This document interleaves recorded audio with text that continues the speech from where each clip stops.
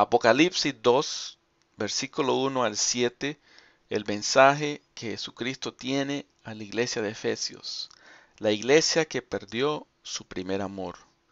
También hay un link ahí donde puede ver fotos de, de esta ciudad hoy en día y algunas cosas interesantes de Efesios. Tenemos entonces el destino. Apocalipsis 2.1 dice, escribe al ángel de la iglesia de Éfeso. O sea, Jesucristo le está diciendo al apóstol Juan.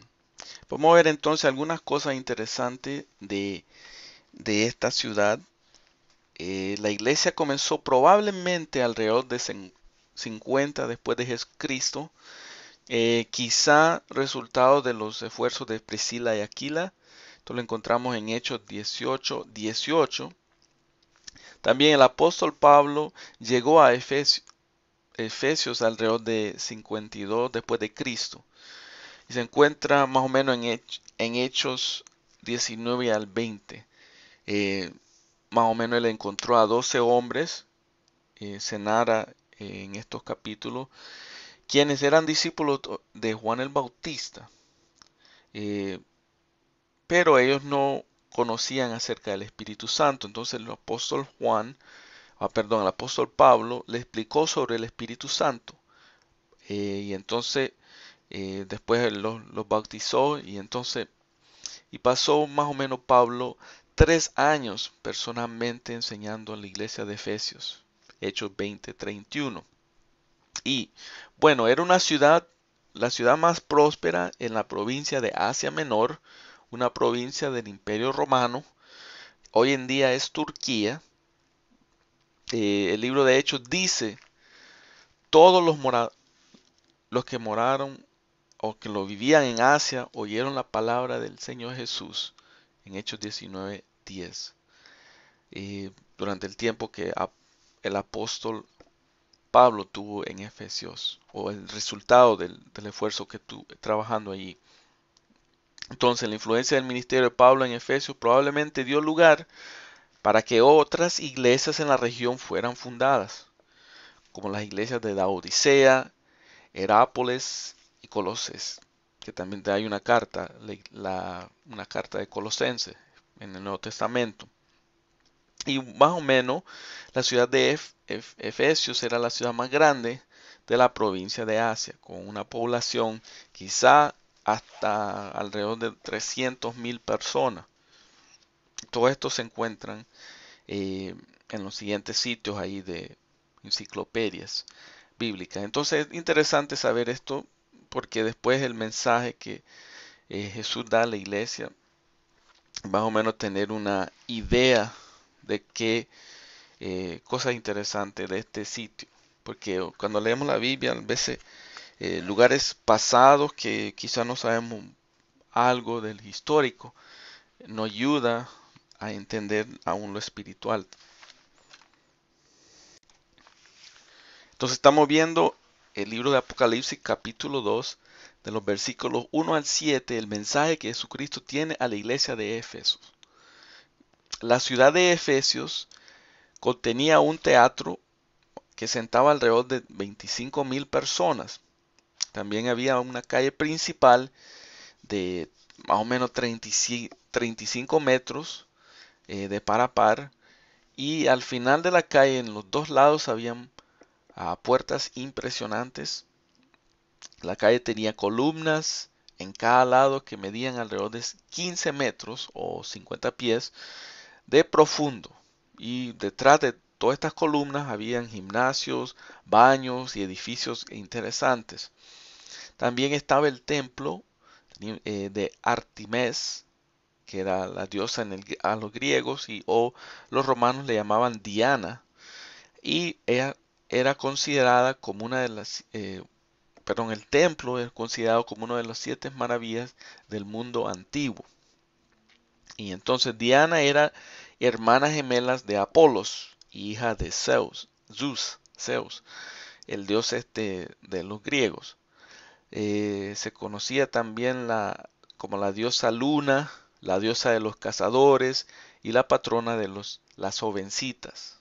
las, personas creían que la imagen de Artemis había caído directamente de, Zeus, o sea, del, del, del cielo. Eh, Hechos 19:35 eh, tenemos esta cita. Los romanos eh, llamaban a Zeus Júpiter, el, el, dios de los, de los dioses para ellos. Entonces más o menos estas cosas había un, bastante influencia de paganismo y este también el, templo de Artemis estaba apoyado por 127 columnas, cada una de ellas más o menos 60 metros o 197 pies de alto.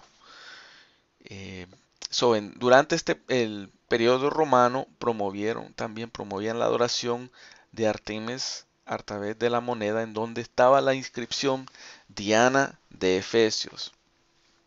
Y entonces, comenzando por el tercer siglo, la ciudad de Efesios comenzó a disminuir con el ataque de los Goths en 263 después de Cristo. Y ya más o menos en el siglo X la ciudad estaba completamente abandonada. So aquí tenemos aspectos históricos de, esta ciudad de Efesios, en una ciudad importante eh, por, la situación y las, los, los templos y, cosas que tenían. Y vamos a ver entonces eh, qué es el mensaje que Dios tiene para esta iglesia. Viendo lo, importante que esta iglesia era, también hay un libro, una carta, eh, epístola que eh, Pablo escribió a esta iglesia eh, y lo encontramos en el libro titulado del nombre de Efesios. Entonces, también en todo el mensaje de las siete iglesias, cada una de ellas se demuestra a Jesús como una, de una manera interesante. Tenemos la descripción de Cristo eh, a, la iglesia de Efesios. Dice, el que tiene las siete estrellas en su diestra, el que anda en medio de, los siete candeleros de oro, dice esto. Y en el capítulo 1 de, de, Apocalipsis vimos, y el mismo Jesús le dice a Juan el significado de, las siete estrellas y los siete candeleros de oro, entonces significando que Jesucristo tiene las siete iglesias en sus manos y Él también pasa en medio de las iglesias. él conoce todo, todo, todo. Es, eh, es, un Dios omnisciente, sabe todo, omnipresente, está en todo lugar y omnipotente, todopoderoso. Entonces, tiene, entonces, ¿qué, qué cosas le agradan al Señor eh, que estaban haciendo, estaba haciendo la iglesia de Efesios? Tenemos la aprobación. Apocalipsis 2.2 comienza a decirle Jesús a la iglesia de Efesios, yo conozco tus obras y tu arduo trabajo y paciencia, y que no puedes soportar a los malos, y has probado a los que dicen ser apóstoles y no lo son, y los has hallado mentirosos. Apocalipsis 2.3. Y has sufrido, y has tenido paciencia, y has trabajado arduamente por amor de mi nombre, y no has desmayado. Entonces, Apocalipsis 2.6, pero tienes esto, que aborrece la obra de los Nicolitas, Nicolaitas, los cuales, las cuales yo también aborrezco. Entonces, esta iglesia tenía muchas cosas buenas que le agradaban al Señor y esas cosas debemos imitar nosotros. Eh, al nivel individual también, qué cosas le agradan al Señor, a nivel matrimonial, a nivel familiar y a nivel de iglesia.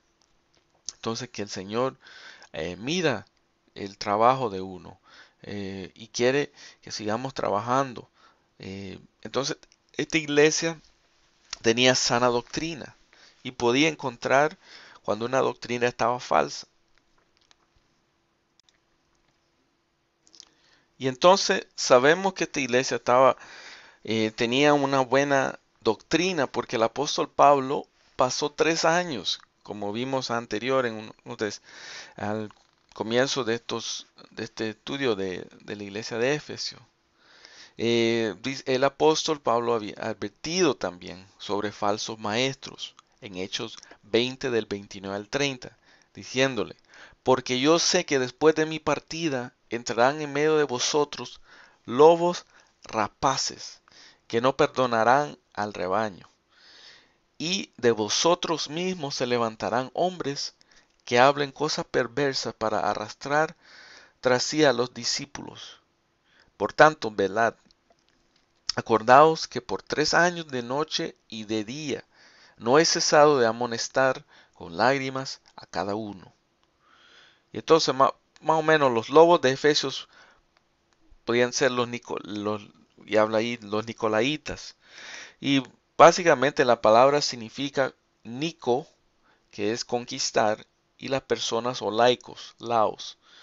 Eh, era una iglesia ocupada, hacía muchas actividades y programas. Entonces, eh, viéndolo una iglesia grande, una iglesia que estaba haciendo mucho trabajo bueno y entonces tenía buena doctrina, eh, estaban eh, bien, bien en, en, todas estas cosas. Y entonces uno mira, wow, una iglesia interesante.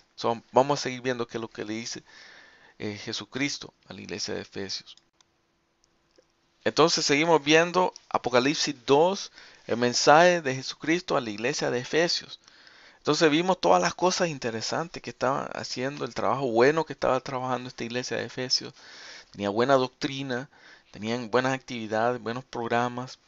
Y aquí viene la amonestación eh, de Jesucristo a esta iglesia en Apocalipsis 2.4.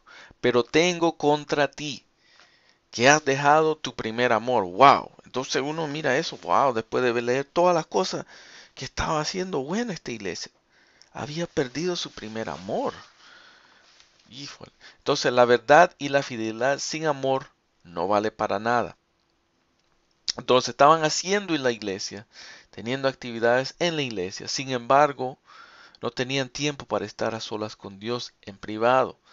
Mateo 6 habla acerca del tiempo devocional, el tiempo de orar, eh, tiempo de estudios de la palabra, tiempo de meditar, reflexionar de la palabra, tiempo de comunión con Dios a través de la oración y el ayuno, estar a solas con Dios. Entonces probablemente estaban faltando este tiempo eh, con el Señor. También eh, cuando una iglesia está trabajando fuertemente con buena doctrina, también es, es algo que uno tiene que siempre recordar eh, que tiene que hacer las cosas en amor. Y muchas veces cuando uno tiene que enfrentar eh, personas que tienen falsa doctrina o sectas, muchas veces esa es una de las cosas que uno puede descuidar. primera de Pedro 3.15 que es un versículo bien importante en la apologética, o sea, la defensa de la fe, dice, si no santificad a Dios el Señor en vuestros corazones y estad siempre preparados para presentar defensa con mansedumbre y reverencia ante todo el que os demande razón de la esperanza que hay en vosotros. Es importante la apologética en el evangelismo, en la defensa de la fe, pero no debemos eh, eh, no debemos, Señor, eh, olvidarnos. El versículo 16 dice, teniendo buena conciencia para que en lo que murmuran de vosotros como de malhechores, sean avergonzados los que calumnan vuestra buena conducta en Cristo. Eh, bueno, y también en el versículo 15 también se olvida lo mansedumbre y reverencia. Entonces, eh, tenemos que hacerlo en amor y tenemos que nunca olvidar el amor verdadero. Y tenemos en Corintios 13, eh, Pablo le, dice también, ese era un problema de, la iglesia de Corintios, que, que, no había, que lo que era realmente el amor que Dios quiere que tengamos nosotros eh, hacia Dios y hacia el prójimo nuestros hermanos y hasta también los, que no conocen la fe también. Muy importante. Voy a leer eso en 13, algunas de las cosas de qué, es el amor. Eh, si yo hablase lenguas humanas y angélicas y no tengo amor, vengo a ser como metal de resueno o címbalo que retiene. Y si tuviese profecía y entendiese todos los misterios y toda ciencia, y si tuviese toda la fe de tal manera que trasladase los montes y no tengo amor, nada soy. Y si repartiese todos mis bienes para dar de comer a los pobres, y se entregase mi cuerpo para ser quemado, y no tengo amor, de nada me sirve. El amor es sufrido, es benigno. El amor no tiene envidia, el amor no es jactancioso, no se envanece, no hace nada indebido, no busca lo suyo, no se irrita, no guarda rencor, no se goza de injusticia, mas se goza de la verdad. Todo lo sufre, todo lo cree, todo lo espera, todo lo soporta. El amor nunca deja de ser, pero las profecías se acabarán, y cesarán las lenguas, y la ciencia acabará, porque en parte conocemos y en parte profetizamos. Mas cuando venga lo perfecto, entonces lo que es en parte se acabará. Como yo era niño, hablaba como niño, pensaba como niño, jugaba como niño. Mas cuando ya fui hombre, dejé lo que era de niño. Ahora vemos por espejo oscuramente, mas entonces veremos cara a cara. Ahora conozco en parte, pero entonces conoceré como fui conocido. Y ahora permanece la fe, la esperanza y el amor, estos tres, pero el amor de ellos es el mayor, el, el, perdón, pero el mayor de ellos es el amor. Entonces vemos ahí resumido lo que es el amor. Entonces esta iglesia había perdido el amor, primer amor, eh, cuando se enamoraron con el Señor y el, el trabajo que tenían que seguir haciendo. Eh, cuando uno está enamorado con, con, Dios al comienzo, está trabajando, nunca olvidarse eso, ese, ese estado cuando uno reconoce que Dios lo rescató del pecado. Consejo, entonces no solo le da la amonestación, le dice las cosas buenas, le dice las cosas que no están buenas, pero también hay un consejo. Y así es la manera que trabaja el Señor. Te dice lo que estás haciendo bien, si estás haciendo algo mal, te lo, te lo dice también, pero también te da cómo poder arreglarte con Él. En Apocalipsis 2.5 dice, recuerda por tanto de dónde has caído y arrepiéntate y haz las primeras obras pues si no, vendré pronto a ti y quitaré tu candelero de su lugar, si no te hubieres arrepentido. Entonces ahí, cuando dice recuerda, es regresar a, meditar, a pensar lo que estábamos haciendo bueno y arrepentirse. Es importante el arrepentimiento, confesarlo y no volverlo a hacer, dar una gira completamente a las cosas que no, no le agradan a Dios y ir a las cosas que le agradan. Y la promesa también, hay una promesa, si no seguimos, hacemos, arreglamos todo. Apocalipsis 2.7, el que tiene oído, oiga lo que el Espíritu dice a las, a las iglesias. Al que venciere le daré a comer del árbol de la vida, el cual está en medio del paraíso de Dios.